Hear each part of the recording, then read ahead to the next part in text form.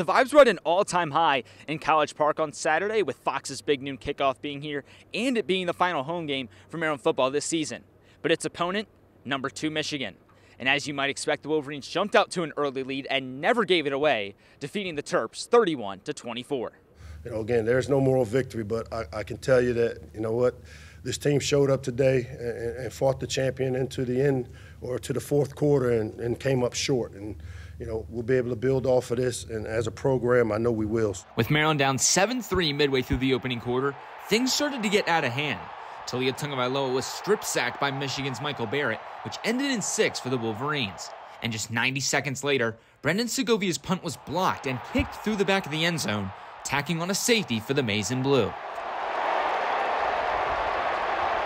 The Terps were down by as many as 20 and had their backs against the wall, but they responded well.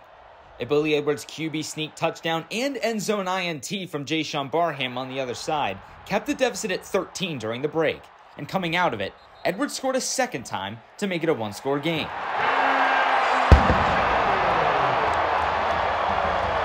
The teams would trade touchdowns late in the third, giving Michigan a five point lead entering the fourth. And that's when Maryland's defense stepped up big time. The Terps got stop after stop, but Maryland couldn't counter that offensively. Taulia Tagovailoa would throw an interception and get flagged for intentional grounding in the end zone on back-to-back drives, sealing the Terps' fate. You know, they just executed better. At the end of the day, they they got us backed up.